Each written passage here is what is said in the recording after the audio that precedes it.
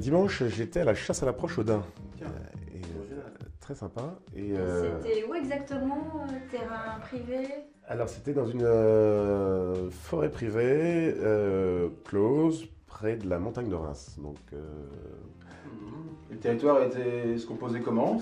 Alors, c'est c'est un territoire composé de sapinières, de petits taillis, avec quelques clairières et euh, qui permettent justement de pouvoir faire des belles approches euh, par des sentiers un petit peu escarpés. Mais enfin, c'est- un très beau, un très beau biotope. Très bien. Et, euh, Et qu'est-ce que vous avez comme, euh, comme gibier dessus? Alors, c'est, puisque c'est clos, donc il, peut, il, y a, il y a quelques espèces un petit peu exotiques. Quoi. Donc, c'est, il y a du daim, des mouflons, et puis sanglier. Euh, Tu parles de se fondre dans la nature. Est-ce que toi aussi tu es un adepte euh, du camouflage?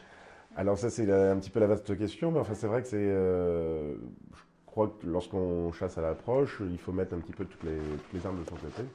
Euh, le, gibier a beaucoup de défense, donc il vaut mieux essayer d'a- d'avoir, d'être bien fourbi. Donc c'est vrai qu'il m'arrive de mettre des, tenues un petit peu de, camouflage, des parkas, des cagoules.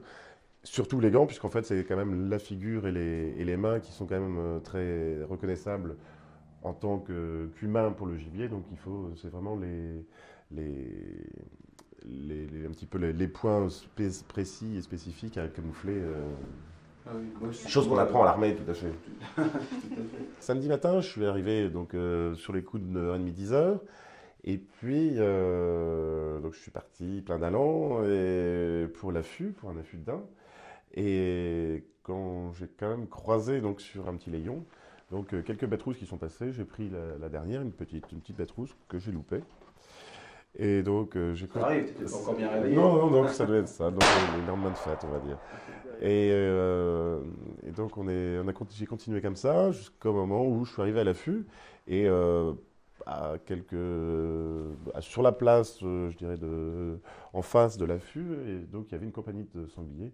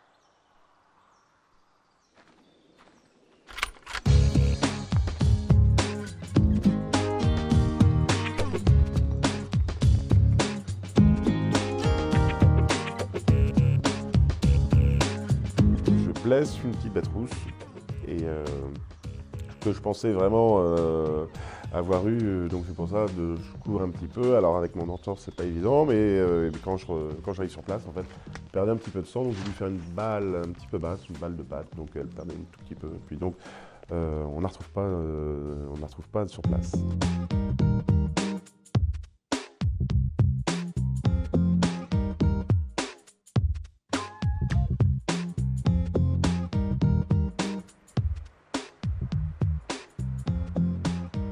Là, par temps de neige, ça rend les conditions quand même euh, de vie assez difficiles euh, à ces animaux.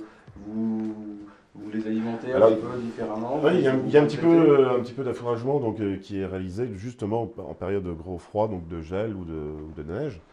Euh, il y a des pierres à sel qui sont disposées un petit peu sur le- tout le territoire. Et puis également, donc, il, y a, y a des abreuvoirs, il y a des, des bacs à eau, donc, euh, qui permet quand même donc, aux animaux de, de passer on va dire, l'hiver euh, euh, dans de bonnes conditions. quoi, quand même. Voilà.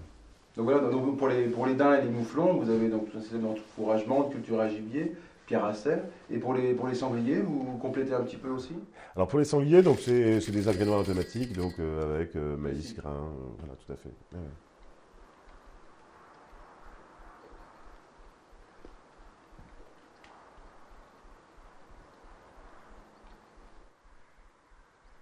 ouais. quel âge tu considères qu'il a atteint son, son apogée? Eh bien, euh, bah, comme un petit peu le cerf, hein, parce que donc la, comparaison reste un petit peu identique. Donc dans, les, dans ses cinq premières années, il va développer donc euh, différents andouillets. euh, donc il va être dagué, ces dagues ne sont pas très importantes. Après, donc il va dé- dé- développer deux, trois andouillets par amérin. Mais euh, il va avoir vraiment sa palette qu'à partir du, de 5 ans à peu près. Ça, là encore, c'est une question de biotope, de nourriture. Et puis donc après, euh, on peut considérer qu'un bel animal a euh, oui, dans les 7-8 ans. Quoi, donc il commence déjà à avoir une, une très belle palette. Et ceux-là, par exemple, Pierre, ils ont quel âge, à ton avis? Bah, alors cela... Il n'y a pas de question piège, hein Je ne sais pas. Donc cela, de, ce- celui le plus haut aurait euh, dans les 9-10 ans. Parce que donc il a des palettes euh, relativement bien développées, des meules assez importantes. Celui-là serait un peu plus jeune, donc il aurait dans les, euh, dans les 6-7 ans. Voilà, je pense. Ça fait un bel animal de chasse. C'est surtout que c'est peu commun et donc c'est euh, et puis c'est le, le trophée reste quand même assez, assez ex- exceptionnel quand même. J'ai pas vu grand chose le matin donc avec, la- neige et puis euh, neige qu'il y avait encore dans l'après-midi puisqu'il faisait quand même euh, très frais et donc là je, n'ai toujours pas vu de daim mais par contre je suis retombé sur une compagnie de sangliers qui, euh, dans la queue de celle-ci, il y avait une petite bête rousse qui boitait.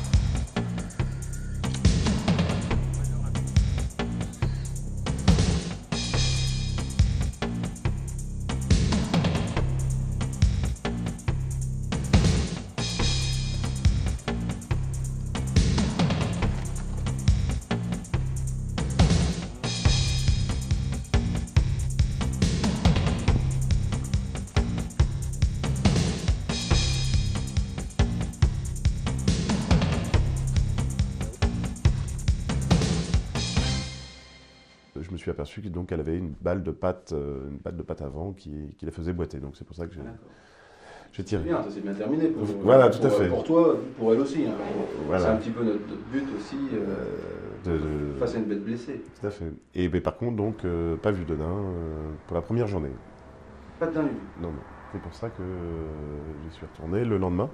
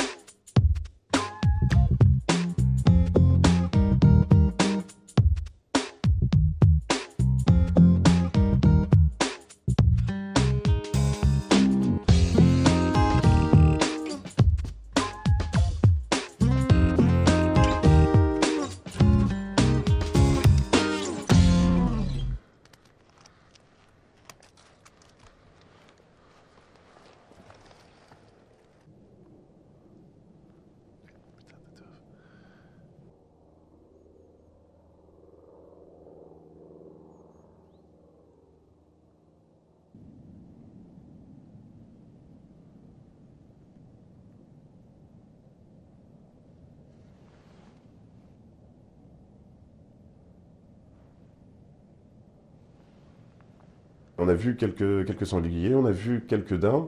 Et, Ah. euh, Et les- alors et alors, Euh, Non, parce que donc les, les- les animaux, euh, je dirais, au niveau des daims, il fallait prélever soit un beau mâle, soit un jeune, ou alors une bête un petit peu déficiente. voilà. Donc là, le- il n'y avait qu'un daguet et qu'une belle daine, donc ce n'était pas, ce n'était pas dans les attributions. Et puis, ou sinon, donc, euh, compagnie de sangliers, mais enfin, comme j'en ai déjà fait un euh, la veille, on va dire, euh, j'étais, euh, je me suis, Ouais, simplement pour le, vraiment voilà, c'était les sangliers pour le- la beauté des, des yeux, on va dire.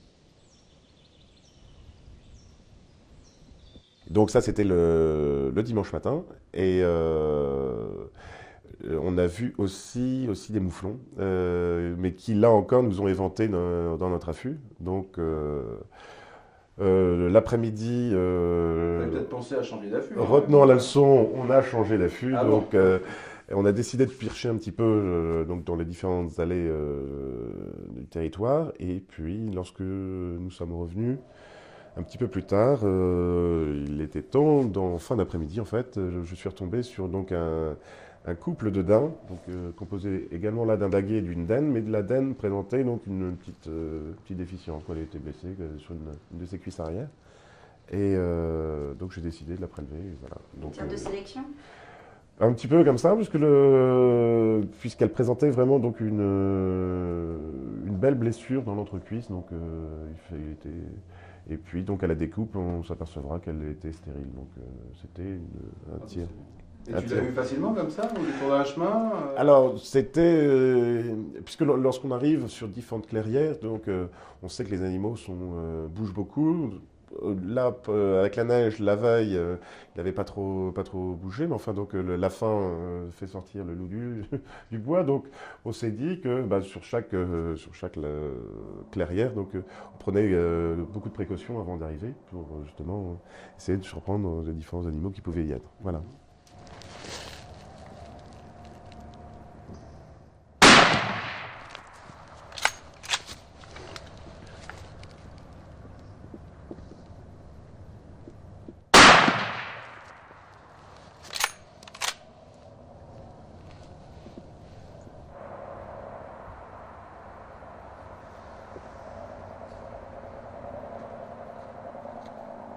Alors Pierre, euh, pour braver ces temps enneigés, des temps pluvieux certainement parfois aussi, euh, on peut dire que pour toi, euh, la chasse, en tout cas au daim, est une passion. Euh, D'où cette passion vient-elle et jusqu'où tu peux aller pour l'assouvir Ah bah, je pense euh, pouvoir aller très loin, on va dire. Du moins, le- géographiquement, dans la France entière. Enfin, je m'arrête pas vraiment, je ne m'arrête pas à la, la chasse au daim.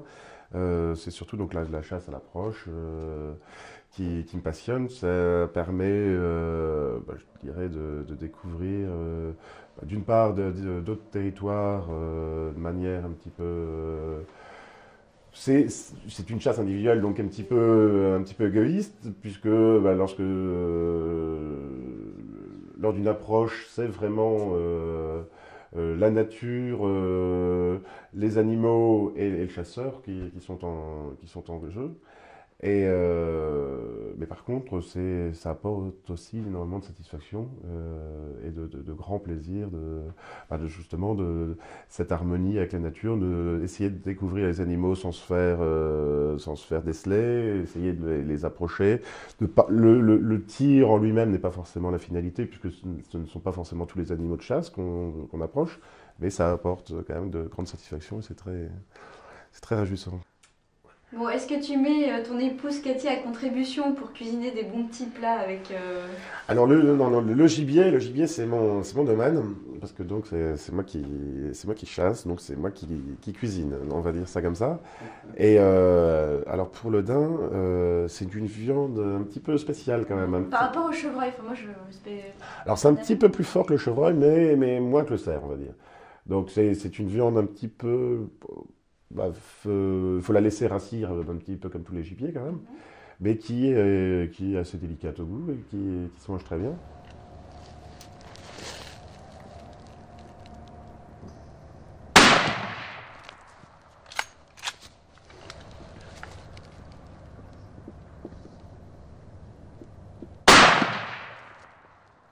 Pierre, euh, grâce à ce week-end euh, qui s'est prolongé, hein, puisque c'était normalement juste un jour, apparemment. Ah, euh, c'est sur deux là. T'es parti sur deux jours. Donc, grâce à tes- ton récit, on connaît un petit peu mieux le daim, euh, qui est un animal quand même que le chasseur a peut-être euh, plus de mal à rencontrer, justement, parce que j'ai insisté sur son côté euh, très Méfiant, méfiant. oui.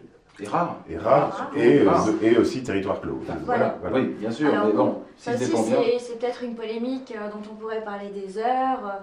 la chasse en territoire clos, bon, bah nous, on a vu aujourd'hui qu'elle était, euh, qu'elle pouvait être aussi passionnante euh, qu'une chasse en forêt. Euh, Qu'est-ce qu'on peut te souhaiter dans, les, dans la saison, là, la fin de saison qui, qui s'annonce, hein, puisque si on remonte les chronos, il ne reste plus que combien de temps Dans deux mois quand même. Deux mois à chasser, Deux mois. bon. Qu'est-ce qu'on peut te souhaiter euh, Eh ben, en que- général bah, hein, comme tu le disais, je sais pas, je pense pas qu'il y ait de polémique à faire sur le territoire clos ou forêt ouverte. Je crois que c'est surtout des inst- instants de chasse. Donc euh, que l'animal euh, chassé ou des animaux vus euh, te donne cet instant de, bah, je dirais, de, de- de- Plaisir. de Magie. plaisir et de magie de, la nature. Voilà, exactement. Un trophée? Euh, trophée. euh, Un grand mal. Oui, euh, oui, pourquoi pas, si, si. Voilà, pourquoi pas. si, Non mais si, sinon on vient avec toi. hein. Eh bien, écoutez, vous êtes invité. Voilà, Voilà. bah, c'est bon. Voilà.